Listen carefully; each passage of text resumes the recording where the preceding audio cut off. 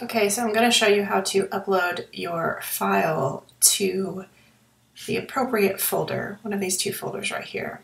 So I'm going to do it in one of two ways, both as a uploading a Word document and then also uploading a document that I created in Google Drive.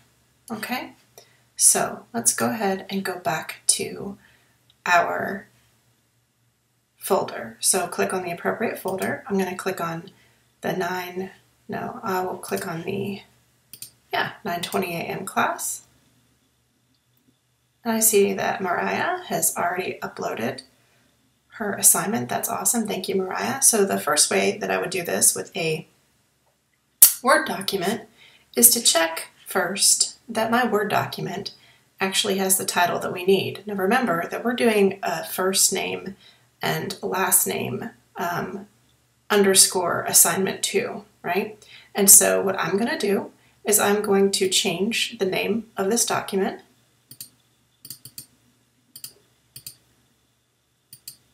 Or at least try to. Yeah. So I'm going to go up here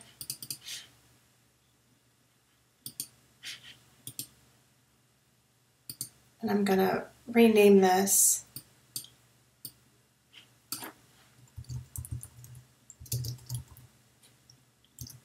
Bob Miller, assignment two. Go ahead and save that to the desktop. Great. Well, actually his name's Bob Smith, but that's okay. Bob's having an identity crisis. All right, so first thing I'm going to do once I've renamed the, the document is I'm going to go to New. I'm going to go to File Upload. I'm going to find the assignment that I want. So Bob Miller, assignment two. I'm going to hit open. And there we have it. Beautiful. But let's say that Bob wrote their paper on um, Google Docs. So here we are. Bob Smith. Remember, Bob is having a bit of an identity crisis. That's fine. We all have those. So the first thing I'm going to do again is to make sure that I have the correct naming. Actually, I don't even need to do that here. What I'm going to do is I'm going to since it's already in my Google Doc, I'm going to just first hit the copy function. So I'm going to hit Command All, Command C, and then I'm going to go back over to the 920 folder and I'm going to hit New, and then I'm going to do New Google Docs.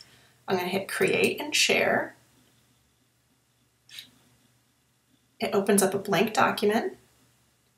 I'm going to hit Command V, paste all that in there, and if I click on Untitled Document, you'll see it just says Bob Smith. I'm just going to change this to Smith Bob Assignment 2, and voila! If I go back to the 920 folder now and hit refresh, we see that this is both signed in there as the Google Doc and as a Word doc. And as we see here, Mariah already has it as a PDF. And that, my friends, is how you do it.